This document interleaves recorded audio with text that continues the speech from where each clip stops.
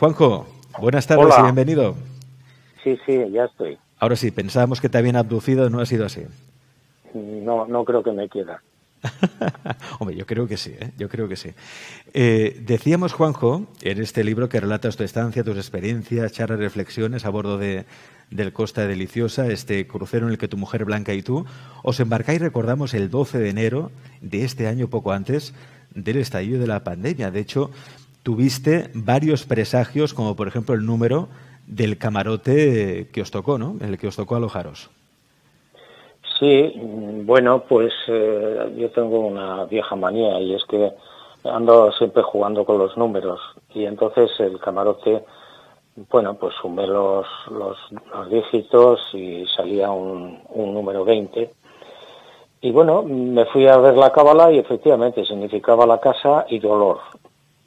La casa lo entendí, pues bueno, pues porque durante casi cuatro meses fue, nuestra casa, ¿no? Lo que no entendí también al principio fue la palabra dolor, es decir, no, no entendí qué significaba. Después ya, claro, con el tiempo, con la llegada de la pandemia, etcétera, pues me di cuenta, ¿no? De la magia de la cábala. La magia de la cábala, las señales de la vida, los mensajes que hay en los números, pero no son los números, ¿no? Sino también por parte de ese ser que sale recurrentemente en este libro, Juanjo, del que ya has hablado también en otros libros, al que llamas la chispa o Padre Azul. Sí, sí, sí, y que todos llevamos dentro, ¿eh? todos sin excepción. Pues bueno, yo escuchaba esa voz en mi cabeza durante mucho tiempo, haciéndome una serie de recomendaciones, eran susurros, nunca son gritos ni órdenes, sino susurros pero yo no, no lo entendía, la verdad, no presté demasiada atención, o, presté atención, pero no sabía de qué iba aquello, hasta que ya empecé a, empecé a ver ¿no? el panorama. Dices en un pasaje del libro que ellos os pusieron en este crucero para sacaros de España justo antes de que estallara la pandemia. ¿Lo sigues creyendo que algo, alguna fuerza invisible hizo que Blanca y tú estuvierais en ese crucero justo cuando estalló todo? Sí, sí, sí, sí, lo, creí en ese momento y ahora mucho más porque, bueno, pues dadas las circunstancias y yo ando siempre moviéndome de un sitio para otro, investigando, etcétera, pues hubiera sido verdaderamente peligroso eh, andar moviéndome por España de un lado para otro, pues podía haber contraído el virus, claro. Lo mejor, vamos, lo ideal es, es haber salido de España durante una temporada muy larga. Sí, de hecho, hasta el mes de abril, ¿no? Que no volvisteis, no volvisteis a España. Sí, casi cuatro meses y, repito, pues yo me di cuenta en esos momentos, cuando ya la pandemia estaba prosperando, me di cuenta de que alguien nos había sacado mágicamente de, del país. ¿Esto, Juanjo, te ha pasado otras veces? ¿De que hay como una fuerza invisible, algo o alguien mm, desde otra dimensión o desde el cielo? Vete a saber tú desde dónde, que ¿Te saca de situaciones complicadas que te ayudan en el último momento? Sí, sí, sí. En muchas ocasiones. Eh. Si no, no tan críticas como lo de la pandemia, pero sí en momentos eh, determinados en los que, bueno, pues la vida corre peligro o, se puede producir una situación difícil, pues yo noto cómo, cómo me desvían. Eh, en este libro no solo se habla de, la pandemia, hay que decir que de hecho es un recorrido por investigaciones del propio Juan José Benítez, reflexiones, muchas de ellas orientadas a explicar qué hay al otro lado, qué hay más allá. Hablas, por ejemplo, Juanjo, en este libro, La gran catástrofe amarilla, del caso de Manuel Eduardo Duarte, que contactó con su hermana años después de su muerte. Sí, sí, sí. Eh, bueno, pues quizás por mis investigaciones o por los libros mucha gente que venía en el barco pues eh, comentábamos o me preguntaban cosas o hablábamos de estos temas, ¿no? Y, varios de los pasajeros me contaron pues eh, experiencias que habían tenido con sus familias, con sus familiares muertos y una de ellas fue esta, efectivamente, y, otros más. Lo que pasa es que, en fin, yo he, he sacado un par de ellos sin más, ¿no? Pero la gente estaba muy interesada en, está muy interesada, creo yo, en, la vida después de la muerte. Por lo que tú has investigado, Juanjo, se puede decir que hay vida más allá de la vida, vida más allá de la muerte. ¿Qué hay más allá? Pues estoy seguro al 150% de que hay vida después de la muerte. Por las investigaciones que he hecho, fundamentalmente, que son muchas, y sigo haciéndolas, por supuesto. Ahora quizás no porque no podemos movernos, pero pero he, realizado más de mil investigaciones y espero seguir haciéndolas por todo el mundo. Y eso pues me lleva a pensar o a creer que, que después del dulce sueño de la muerte uno se despierta, abre los ojos en un sitio asombroso, maravilloso, donde está con un cuerpo físico mm, tangible, no, es algo espiritual, sino que es algo físico, y donde no hay palabras para explicar lo que, lo que sucede allí. No hay palabras para explicar lo que sucede. Yo lo porque he leído el libro, es decir, llega un momento que mueres, entonces trasciendes y te despiertas y tus seres queridos vienen a buscarte y te dan otra forma física, es decir, sigues existiendo físicamente pero en otro plano. Sí, estaríamos en un lugar que para nosotros es ahora desconocido, pero que es físico, que es un sitio que ocupa un lugar en, el cosmos que no podemos explicar porque no, no, tenemos palabras y en el que no se sabe exactamente cómo, pues te trasladan desde aquí hasta ese lugar, mejor dicho, trasladan, trasladan la chispa, trasladan tu alma y trasladan tus memorias, que es lo único que al final nos llevamos de aquí, los recuerdos. Y bueno, todo eso se vuelve a ensamblar en ese cuerpo físico del que tú hablas y sigues, sigues el proceso, ya no se vuelve a morir nunca más, según mis noticias, y bueno, se sigue evolucionando en un camino casi, casi infinito. Casi infinito, y el final de ese camino, ¿cuál es? Convertirse en luz. Sí, luz que piensa. Y, no el final del camino, sino mucho antes de llegar al final del camino ya eres luz que piensa. Y, y bueno, sigues hacia ese centro final que es el paraíso y, y no estoy tan seguro de que sea el final. Es decir, que aún podemos seguir, el camino nunca para, es infinito. Sí, eh, hablan de que una vez que llegas al paraíso, al que solamente se puede entrar a través de los sueños, pues eh, ya como seres, eh, como dioses con mayúscula, pues te encomiendan la creación de nuevos universos en lo que llaman las zonas increadas. Y en ese viaje de nuestra alma, de esa chispa divina, ¿qué lugar ocupan, por ejemplo, los ovnis, o mejor dicho, los que tripulan esos ovnis, los extraterrestres? ¿Serían seres de otros planetas o hablamos de seres de otras dimensiones? ¿Qué tienen que ver con nosotros? Bueno, yo creo que hay de todo. Es decir, hay muchísimas civilizaciones que pueden proceder de otros lugares de la galaxia o de otras galaxias y también, mm, y es una de las hipótesis más importantes en estos momentos, que pueden ser eh, civilizaciones que vienen de dimensiones desconocidas para nosotros. De la misma manera que durante eh, casi 1500 años, bueno, y mucho antes también, claro, América no existía y sin embargo sabemos que sí existía. Pues lo mismo ocurre con las dimensiones, es decir, están ahí, no hemos llegado a descubrirlas, no sabemos cuál es la mecánica para acceder a ellas, pero están ahí. Y ahí vive muchísima gente, gente que seguramente por su muy avanzado estado tecnológico, saben llegar hasta nosotros. Bueno, entre todas esas civilizaciones eh, de la galaxia o de fuera de la galaxia o de otras dimensiones, por supuesto que puede haber civilizaciones al servicio de la divinidad. De la misma manera que hoy no nos extraña que haya misioneros que utilizan aviones o helicópteros para llevar de un sitio a otro. En este libro recordamos la gran catástrofe amarilla que acaba de publicar Juanjo Benítez. Obviamente se plantean muchas reflexiones y también se pueden contar respuestas a las grandes preguntas. ¿no? Eh, hemos hablado de a dónde vamos, ¿no? Eh, quizá habría que preguntarse de dónde venimos y en este libro precisamente hablas también, Juanjo, de la ley del contrato, una especie de pacto de alma que haríamos antes de, venir a la vida, ¿no? que al parecer eh, todo lo que vivimos ya está escrito, ya está pactado de antemano. Bueno, es una hipótesis de trabajo. Hay que contemplarla como una para mí mm, muy interesante, posiblemente para mí, repito, con mucha base, mucha consistencia, y consistiría básicamente en elegir lo que tú quieres hacer en la materia, en, esta vida, en este mundo. Y eso se haría, si esto es cierto, insisto, eso se haría antes de nacer, es decir, en un, en un lugar y en un momento que no sé especificar, eh, se elige o te dan a elegir qué es lo que quieres llevar a, cabo en, en, la vida, en la materia, en el planeta, con sus más eh, pequeños detalles.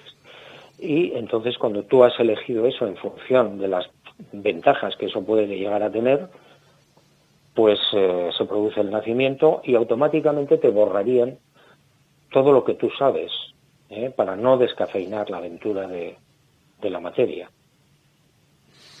El ser humano, eh, Juanjo, y tú lo sabes por las investigaciones, investigaciones que has hecho, por los libros que hemos podido leer, em, tiende a la trascendencia. Y, eso es algo que se puede percibir en este libro, la trascendencia, esa, esas ganas de entender qué es Dios o qué es el tiempo. Y ahí me gustaría leer un diálogo que Juanjo eh, tiene precisamente con el tiempo. ¿no? Y él dice, me pregunto cuántas caras tiene el tiempo, y el tiempo susurró, Cuanto más pienses en mí, más despacio caminaré a tu lado. Nos equivocamos de imagen. La muerte no se presenta con una guadaña en las manos. La guadaña en realidad es tiempo. Nacer al tiempo es olvidar voluntariamente que somos dioses. Es interesante nacer, pero es más prometedor desnacer la toma de conciencia es una escalera cuyos peldaños son tiempo. Dios no necesita tiempo porque tiene conciencia de todo. Bueno, y aquí viene la gran pregunta. Juanjo, ¿qué es Dios o quién es Dios? Pues no tengo ni idea, porque como tú comprenderás, mi, cerebro no da para tanto, ¿no? Eh, yo intuyo, siento, no sé, que, Dios probablemente son muchos, ¿eh? no es uno solo, aunque lo simplificamos con lo del Padre Azul, que me parece una bellísima metáfora, pero seguramente Dios son muchos. Cuando dices desnacer, ¿a qué te refieres con desnacer? Desaprender. Desaprender.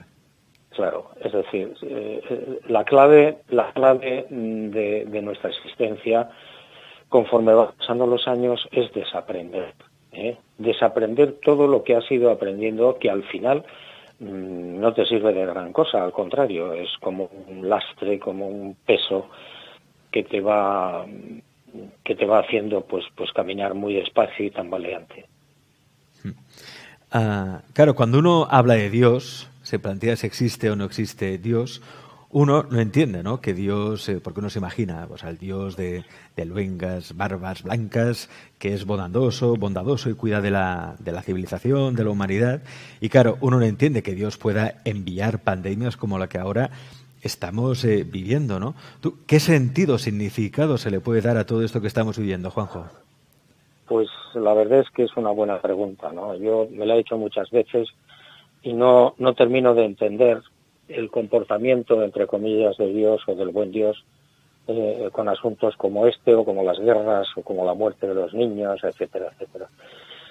Pero supongo que tiene que haber alguna razón, es decir, mi, mi corto conocimiento no da más de sí, ¿no?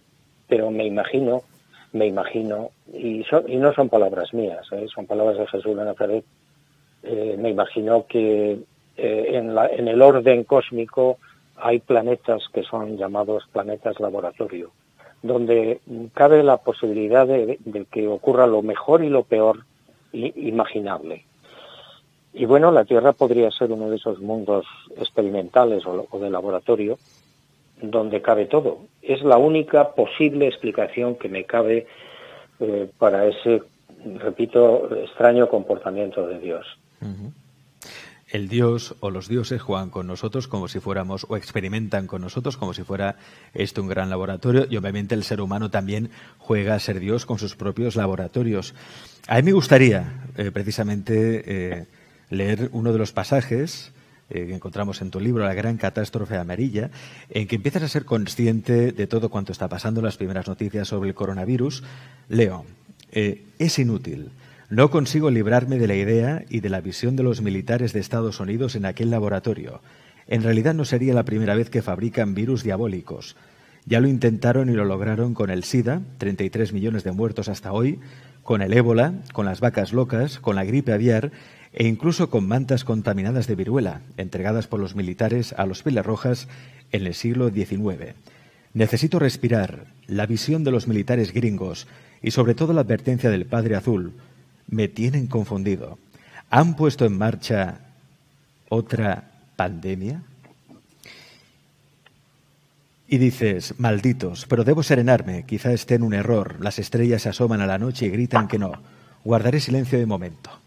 Eh, esa primera intuición que tuviste, Juanjo, ¿la has confirmado, corroborado? ¿De dónde viene este virus? Sí, sí, sí. Esa, esa intuición casi certeza que yo tuve desde que empecé a escuchar lo del tema del coronavirus, pues eh, se, ha, visto cumplida por la información que yo recibí, como eh, que leí después del crucero, donde, bueno, pues una señora, una militar norteamericana que trabaja o trabajaba en este asunto diabólico, reconoce que han sido ellos los que lo han fabricado y quienes lo han esparcido por el mundo. Y no es la primera vez, como bien dices. Pero entonces este virus no es natural, es artificial. Totalmente artificial. Eh, además, hay algo que yo recuerdo que lo dijo un premio Nobel hace unos meses, cuando dio el tema del coronavirus. Este hombre dijo, bueno, eh, esto es artificial por una simple razón, porque el virus, eh, si fuera natural, no se comportaría igual en una zona fría, como pueden ser el, norte o el centro de Europa, o una zona caliente como el Sáhara. Eh, y si lo hace, que lo está haciendo, es porque es artificial.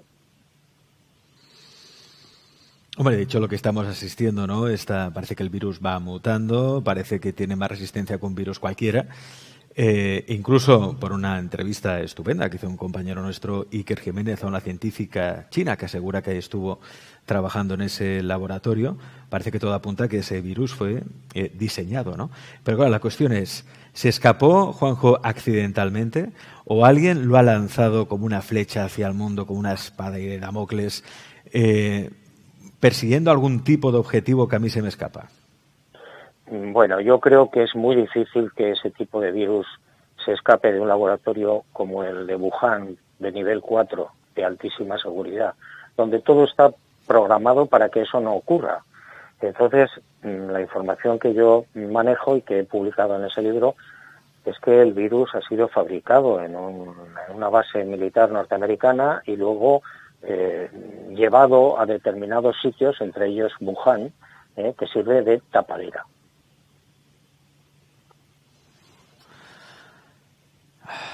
Fijaos, ¿eh? Eh, bueno, intuiciones que poco a poco se van comprobando y con hechos además objetivos y, demostrables. Lo que pasa es que todo esto lo podemos conectar con otra información que leímos en un fantástico libro también de Juanjo Benítez, que es GOC, en el que eh, Juanjo nos desvelaba las claves a través de la novela, nos, desvelaba unas claves, una información clasificada por la cual, al parecer, en 2027, 2027 eh, caería un meteorito de medidas apocalípticas. Y leo, porque además también lo explicas aquí en este libro, La Gran Catástrofe Amarilla, leo algunos fragmentos de ese, de ese documento, algunos párrafos de ese documento que tienes en tu poder y que recordamos está bajo notario, es decir, hay un notario que realmente certificó, eh, digamos, la, la, la propiedad de este documento por parte de Juanjo Benítez. Y leo, en 2020 la flecha será arrojada sobre la multitud y caerán ricos y pobres. Los muertos se contarán por cientos de miles hasta 2024 y será un ensayo general para Gok.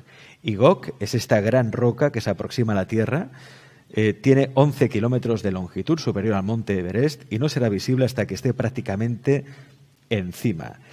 ¿Para cuándo exactamente, Juanjo, está prevista la caída de este meteorito? Bueno, si esa información es correcta, que ojalá no, ojalá no lo sea, sería en agosto del 2027. Repite la fecha, Juanjo, perdona. Sería, si repito, si la información es correcta y ojalá esté equivocado, en agosto del 2027. Esa sería la fecha de la caída de este meteorito. Esta información, Juanjo, para el que aún no haya leído el libro, y yo os lo recomiendo porque es un libro estupendo además, que se lee eh, se leen dos tardes, es un libro que atrapa desde la primera página. Esa información, ¿de quién te llega? ¿Cómo te llega? Eso no. Las fuentes, como tú sabes muy bien, no deben ser reveladas. Pero es una fuente oficial. Es una fuente militar. Militar. ¿Y por qué no se divulga esta información? ¿Qué peligro habría? Pues hay, no sé, posibles explicaciones. No, una de ellas es tan diabólica que yo es que ni me la planteo casi, pero pero te la voy a decir. Es decir, eh, los propios militares que a mí me cuentan esta historia, con, con el enorme cinismo que supone esto, claro, el que sobreviva a Gog, el que sobreviva, sobreviva a la situación caótica que va a provocar este asteroide, será el amo del mundo. Claro, esto mm, te lleva a pensar en, todo, ¿no? Es decir, bueno, esta gente está completamente loca o, son más malos de lo que yo imaginaba. Eh, ¿Formaría parte de un plan entonces para eliminar a buena parte de la población mundial porque según algunos hay una superpoblación? ¿Pero te refieres a, a GOG? Bueno, me refiero, por una parte, a este virus que se ha soltado en el mundo y que no se hable precisamente de la caída de este, de este meteorito para que la gente pueda protegerse de alguna manera si es posible. No, creo que eso les da igual. Yo creo que el objetivo básico del coronavirus es hundir la economía europea. ¿eh? Y eso creo que lo han conseguido o lo están consiguiendo. Eh, ese es el objetivo fundamental o prioritario. Todo lo demás es secundario. ¿Eh? y llegará un momento en que bueno pues el coronavirus eh, desaparecerá. Yo creo que está dando los últimos coletazos. Y bueno pues ya mm, me imagino que no volverá a haber más pandemias de este tipo porque si es cierto el asunto pues eh, con Gog ya se corona todo toda la catástrofe imaginable. Eh, ten en cuenta que son 1.200 millones, calculan ellos, 1.200 millones de muertos en 48 horas. En dos días se provocaría la muerte de 1.200 millones de personas. Esto en el año 2027. Me gustaría mostraros una de las imágenes del libro. Vemos, por ejemplo, la zona donde supuestamente caería este meteorito Gok, que estaría, pues ya veis ahí en el océano Atlántico y veis las posibles áreas que serían afectadas por los tsunamis. Esto sería el impacto de Gok al este de las Bermudas, como podéis ver. Y esto, según una fuente oficial que se puso en contacto con Juanjo Benítez, hizo llegar esta información que recordamos está bajo notario, es importante decirlo. Este documento está bajo notario. Además, hay una imagen en el libro que así eh, lo testifica el notario José María Florín, notario de Sevilla, mostrando este documento oficial que recibió, que recibió Juanjo Benítez. Entonces, no son, no son información ficticia, son información que hicieron llegar a Juanjo.